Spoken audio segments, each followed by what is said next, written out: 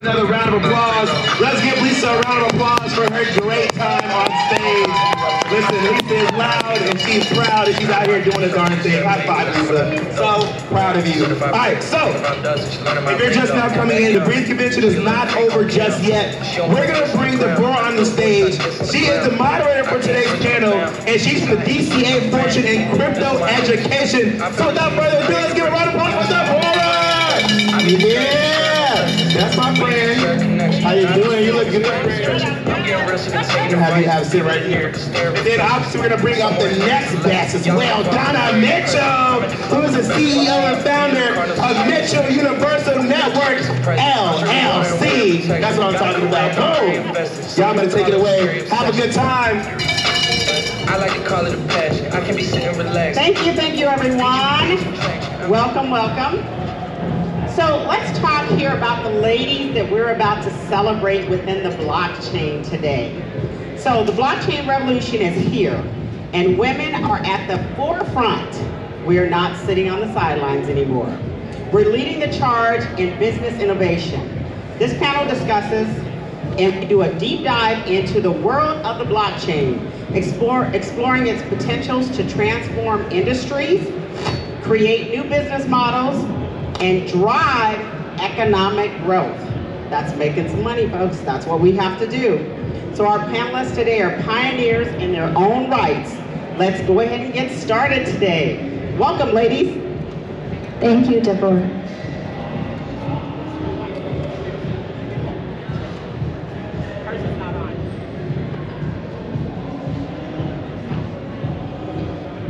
No.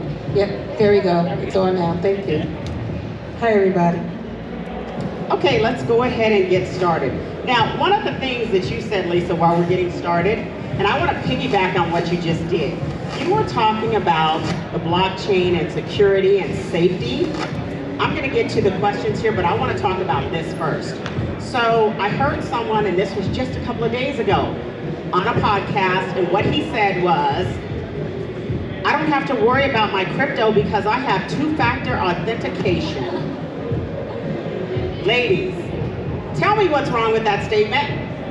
Well, I guess that takes one vector out of maybe a hundred out of the picture. So someone can't take his cryptos quite so easily because he's got 2FA. But they can still see his entire transaction history. You can see, still see everything he owns, everything he does. Like, that's not good. Everything. So if you want to keep what you have worked so hard for, then we better listen to Lisa here from the Secret Network. So let's go ahead and get started, ladies. I am so excited to get this information here from you guys. Um, so the first thing that I want to know is how has the blockchain impacted your business, your life as a whole? I'll start. Uh, I left PayPal because they weren't getting into blockchain in 2017. And I must say that I did not know what I was getting into. I joined a company where I was one woman out of 55 employees. And it was a bro culture to the extreme. So I thought PayPal was a little patriarchal at the time, one of the reasons I left it, but I didn't know I was jumping out of the fire, frying pan into the fire. So I've been in here in this industry for six years. I've worked with a lot of men. I've experienced a lot of, I would say, trauma because of the the attitudes of people in this industry where they think that they are the smartest person in the entire universe because they bought Bitcoin early and now they have a lot of money. So blockchain has definitely affected me in good and bad ways, but I wouldn't have it any other way. I'm here today because I believe in the future of what blockchain can do. I want to see it come about in the best way possible, which is why I'm working on privacy. And uh, this is my life now. Fantastic. Well, you said something interesting. You said the trauma that you have, and as women, we do face trauma in this industry that is so male dominated. But I'm so happy to see that you fought your way through it.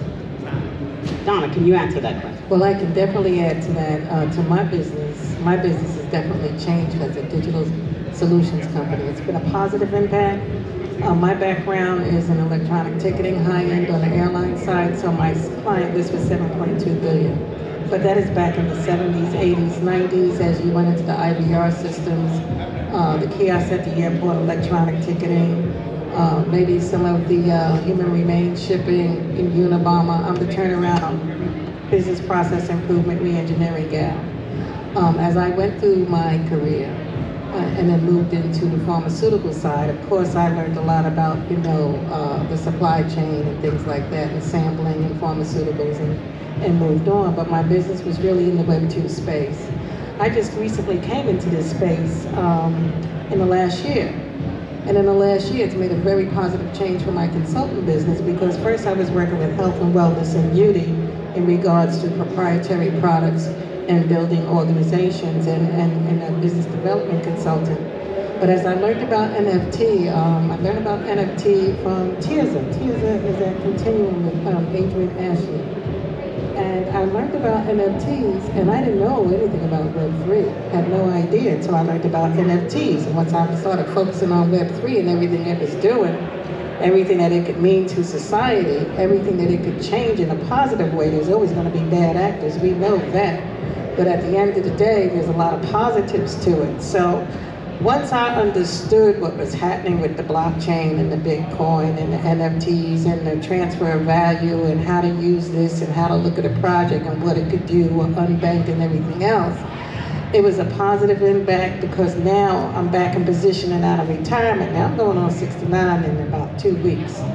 So I'm really here wow. to say anybody can do this, anybody can learn this, but you just have to apply it and bring it down some, the way we communicate about it, so people understand what they're doing in best practices, what they're doing in their marketing plans.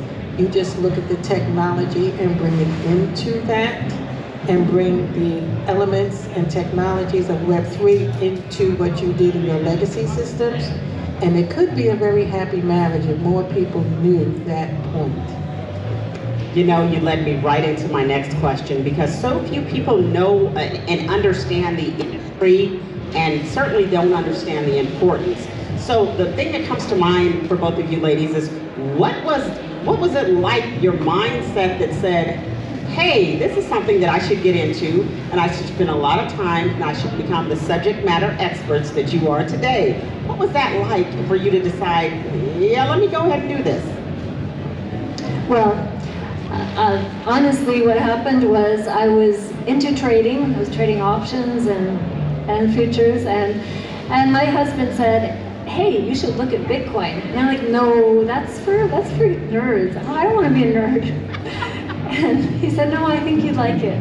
So I started trading it, and that's how I got hooked because there were there was so much volatility and I could trade and make a lot of money and it was really fun and that turned into honestly what happened Deborah was I was working at PayPal and I was getting home from work and I was trading on BitMEX all night and then going to work the next day. There was no time for sleep in there.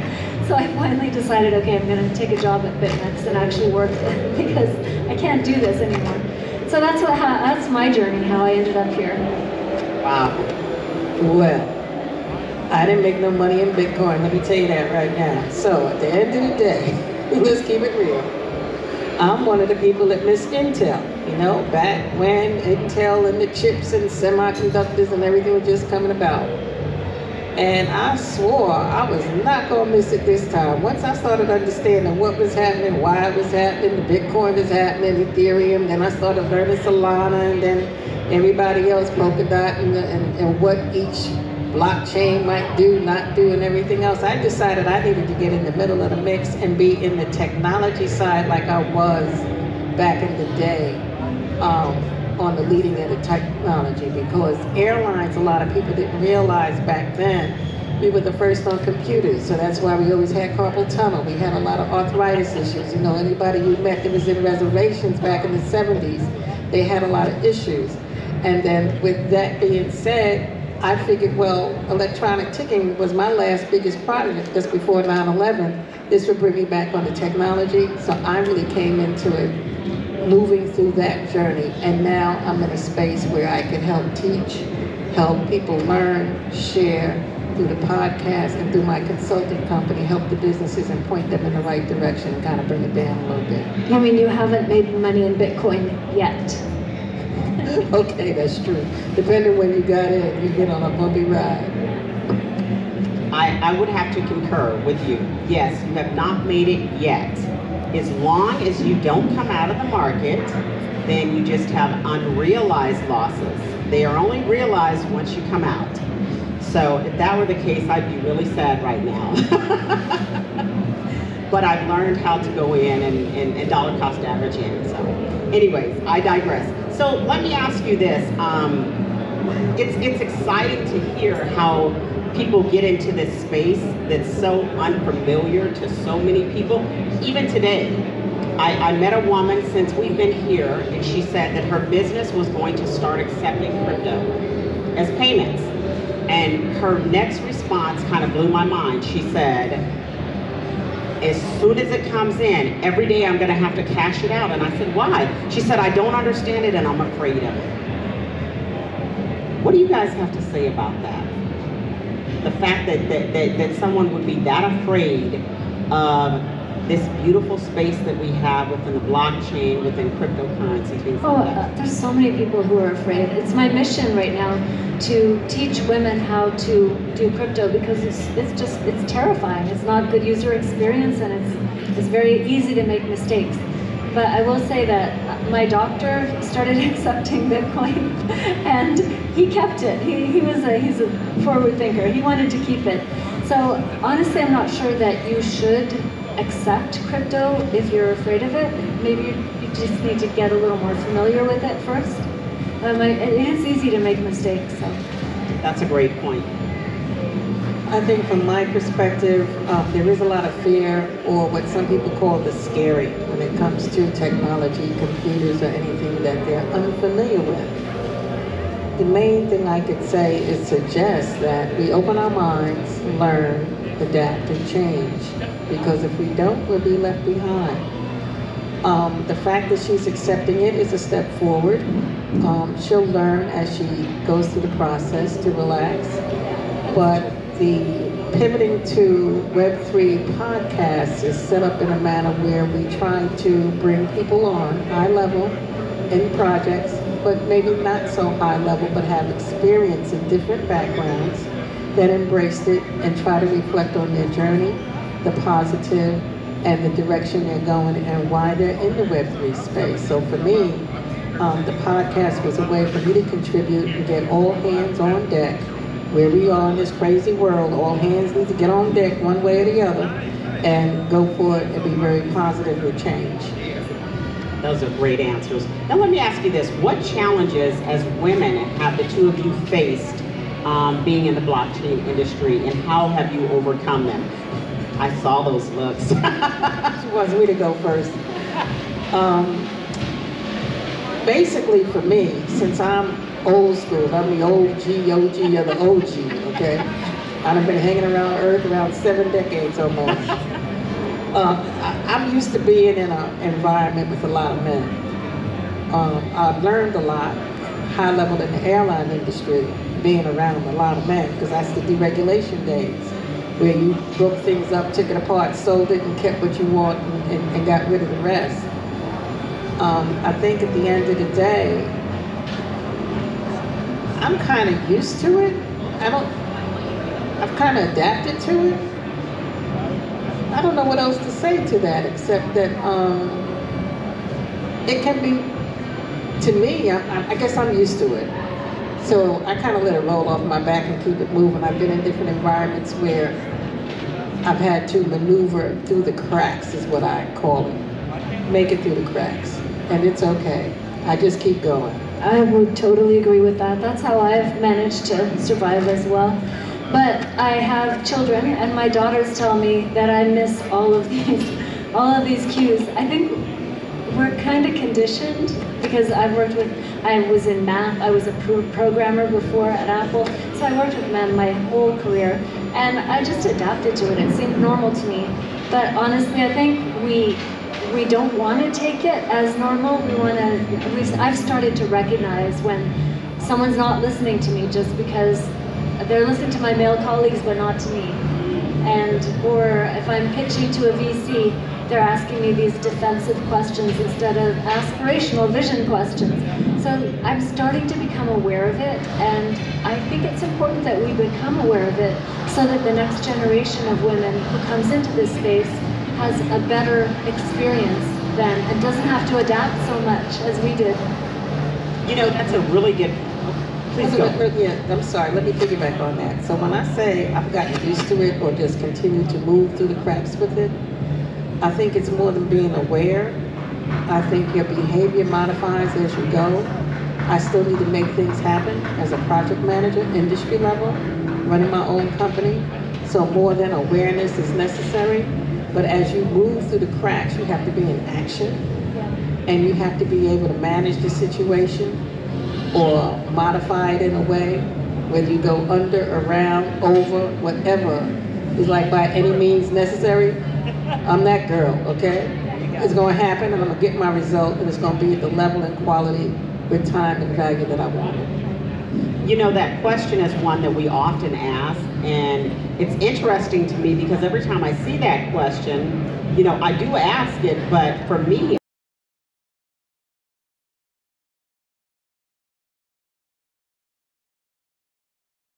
I haven't had those challenges either within this space. I, I, I just said on another panel, I think I was born with an extra dose of testosterone. so for me, I have not had those challenges either. So it's exciting to see that more women are going through and that when we hear things like that from multiple women, then the, the newer generation that's coming in, then they come in and they don't expect it. But when you come in expecting it, then unfortunately you get what you expect. So Yeah. I, I, I love what you ladies have said and the experience that you have had as well. So let me ask you this question. So what do you envision the, um, the future of the blockchain, especially as it pertains to the traditional business world? Bitcoin to 100K! Woohoo! That would be great. But what do I see? I think that someone in the previous panel said that industry is coming in right now. I see institutions poised on the brink of coming into DeFi, decentralized finance. I really think that uh, the next few years is going to see a huge influx of mainstream players. And we're going to see institutional capital coming in. And like I said, I think blockchain is coming. There's nothing that's going to stop it. It will adapt and modify over the time and become more usable, more easy to use, I certainly hope. Um, but I think it's coming. I, I think we're going to see a huge shift over the next 10 years. We won't even recognize how we do things today. I would agree 100%. I personally think that um, there's a lot of benefit that's already started with some projects and use case um, scenarios. You do have um, some nonprofits who have started using the DeFi, the unbanked, helping people with identity. Um, the nonprofit side does really well in the blockchain space, and a lot of those projects are going um, fabulously well for what they're bringing to the table for society, for the undeserved, underprivileged uh, markets. I also see blockchain um, moving very swiftly to case uses in real estate, insurance, any place that you have transactions, um, especially in that DeFi, uh, smart contracts. Um, a lot of that's taking place now, but I think that's going to pick up as people see that they can have an additional stream of income from a passive side every time there's a transaction, every time you sell the property. Uh, an artist, every time the uh, the piece sells, they get a percentage. Um, your bands, your music, and so on. Um, I think there's going to be creativity in society um, that's going to catch on that this is not all that bad and learn how to utilize the tools that comes to the table when you are looking at AI. If you don't catch on and start using it like Google or start asking it like a virtual assistant or start talking to it, asking for your marketing plan and your drip campaign, then you will get left behind. So there's some positives. It's all not about the scary and it's all not about the fear. and what's going to happen next. The best thing would be, I'm 68. Um, what two years ago I did AI executive program just to know what was going on with AI and machining, and I didn't have any idea, not in the workplace, but I wanted to know. And I had the time, we was all locked in the house. So, because I got, you see me walking around here with a mask on, you know, obviously I got some issues. So, so I decided to do that with the virtual. And then um, this past year, I wanted to understand blockchain, crypto, and emerging trends and DApps and everything um, beyond what I was being told and engaged, you know, through counseling and working with a, a, a, consultant. So at the end of the day, I think there's a lot that's going to really happen on the positive, and we all need to hang on, join in, learn what you can, share, grow, and keep moving and make some money. Change the world and go home. Change the world and go home, she says. We're done. so it's interesting that you say that. Say that. So I'm going to digress. I'm going to um, what does what does GPS say? Um, recalibrate, whatever they say. So I'm going to go a different direction here because something that you said. You said last year you started to learn something different. So you're already in the space, and you've mentioned your age, and you decided to, to learn something different. And for me, that's exciting because I just got into that space as well, to where I started to look and say, you know what? There's so many spaces that I am not um, knowledgeable in, that I'm not knowledgeable at a level that I can teach it. So just give us an example of how do you do that? How do you go from, you know what, I have no idea, and then you wanted to go down this, this new road map for yourself to, to learn something new. Again, it's completely and totally out of the ordinary. For me, um, I'm a learner. Strength Finder 2.0, learner was one of my top five. So that's part of how I move through the world. Um, I think for me, I've worked a lot.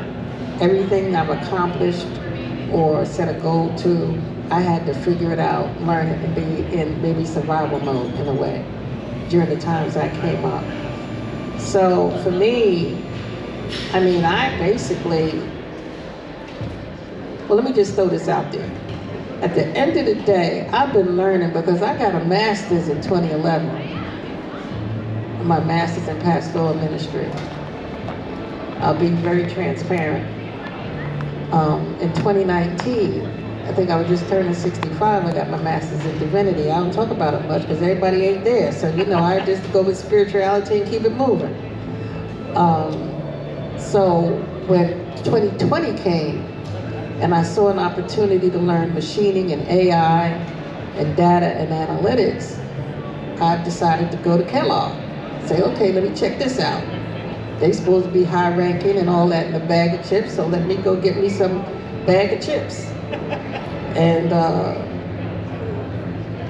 with everything it was going now, my business advisor and in that space, they thought I needed to step up on who I was back when because they wanted to know what happened to you. What happened to your business that you're doing this? You know, even though I came out of corporate, I'm a corporate girl after 40 years. Budget 177 million, client list 7.2 billion. So I done been there, done that. GetThere.com, you know, Sabre, Priceline, Orbitz, those are my old projects. Reward programs, Priority Gold Chain. Okay, you get the idea. So 2022 comes around, and I'm supposed to step up my game, do something with my business. What I was doing wasn't what I should be doing, and I'm listening to my advisors. So I decided, well, after I learned the NFTs and started doing digital art and then started worrying about Web3, and this was the beginning of the year, I needed to go to class. But if you go, you do have to be in the mode of change. If you want your life to change, you can't keep doing things the same way, expecting a different outcome. Um, you can't keep working for these corporations and be like me and get laid off at 50 and having to almost be almost homeless in two years and can't get a job because you're overqualified and you got Enron, Tyco, and all that happening. So different circumstances along my journey, I would not give up. And I got used to learning as a, as a way of a behavior to, first I liked it, but I think it was a survival mechanism of circumstances in my life. And I just tried to keep an open mind. Did I go too deep in that? You got it? You went perfectly. I mean, you you went to the right level of depth. I would, you. I'd like to take a stab at that. I, when you download a new game on your phone, because you're tired of the old one, at first, you're like, what is going on here? I don't, under, I don't understand this game. I'm just gonna go with it. And then at some point, it clicks in, and you're like, oh, I get it. I've got to go collect the pumpkins, and then I have to deliver them over here, and it makes sense. Learning is just like that. You go into uncomfortable situations, and you get used to them. But let me add this on the blockchain. Let me keep it real. So, when I first heard about the blockchain and everything that was going on in smart contracts and the way the communication was going, I didn't understand a thing. Straight over my head, bam. But once I took the time and slowed down, just like a game, like you said, read the directions, really started thinking about it, and then I was able to apply it to my past and look at what was going on in my future and do a lot of reading. After time, it kind of came to me because it can be complicated.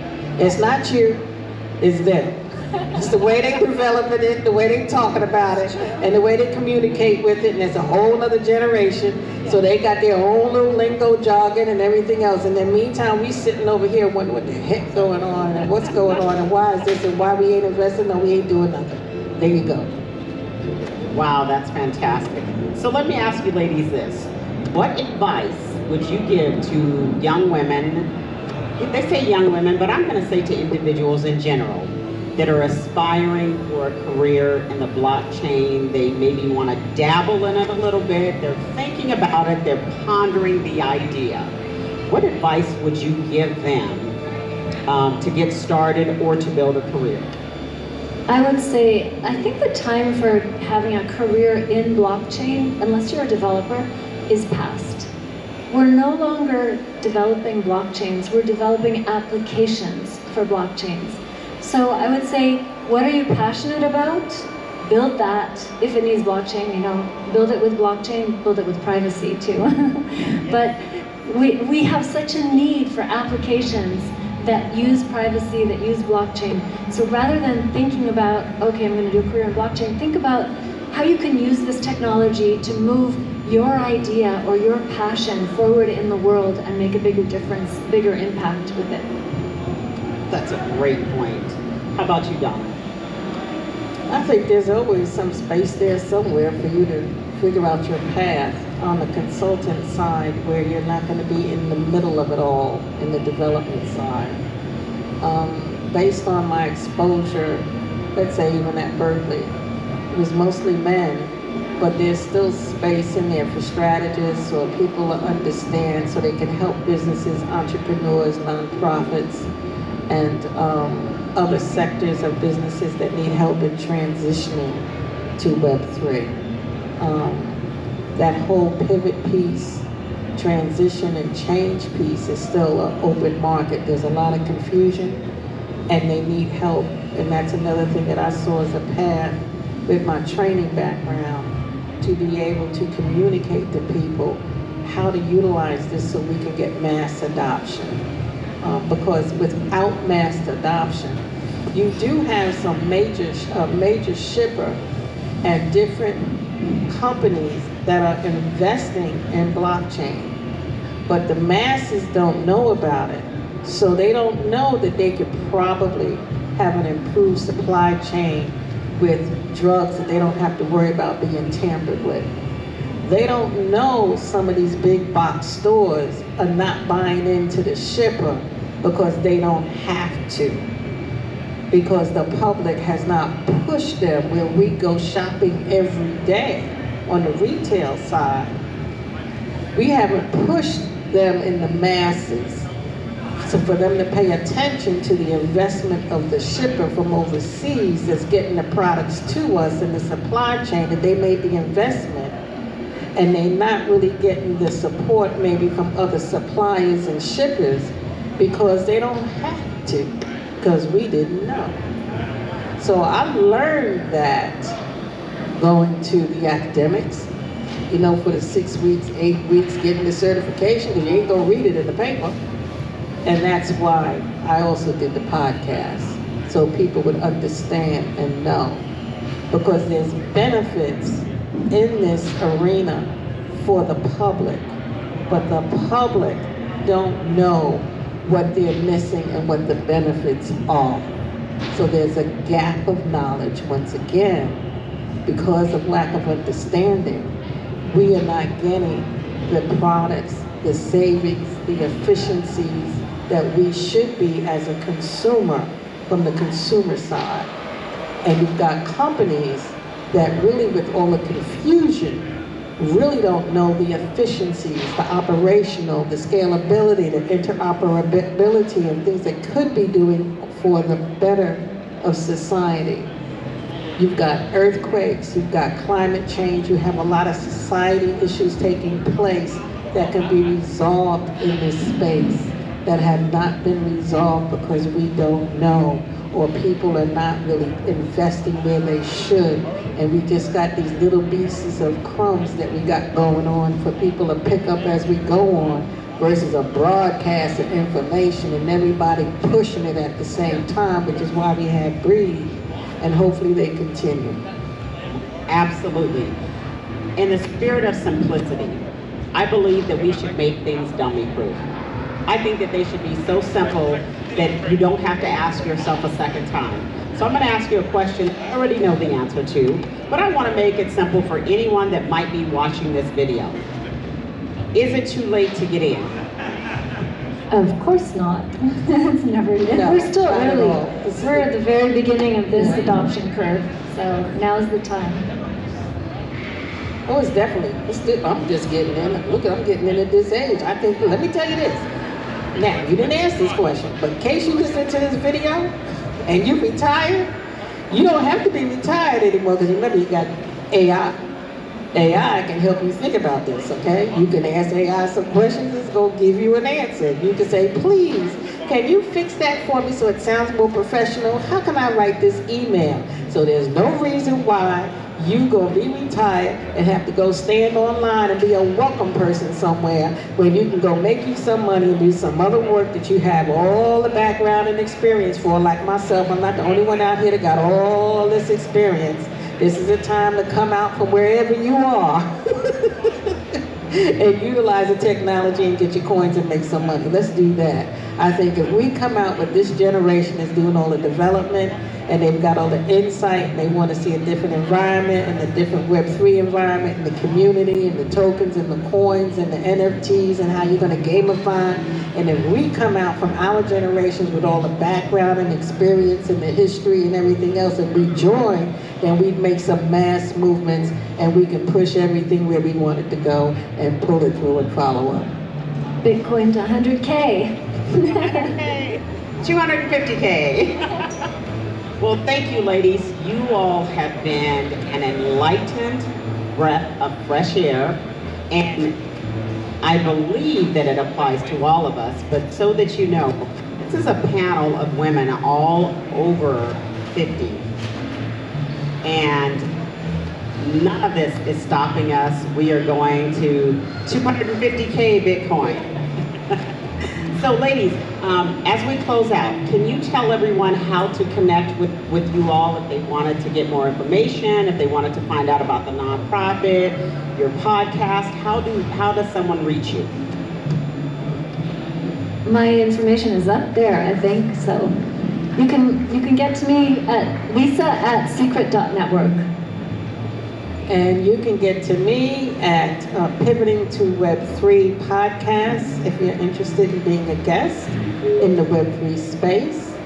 And you can connect with me on connectwithdonnamitchell.com and we can have a discovery call and you can find me on LinkedIn. And I'm really glad to be here and have the opportunity. And thank you for moderating. Yes, thank you for moderating. Great job. You're very welcome, everyone. I am Deborah Fortune Stott, aka DCA Fortune, in these here wonderful crypto streets. Thank you for your time, and we look forward to seeing you at the top of the blockchain.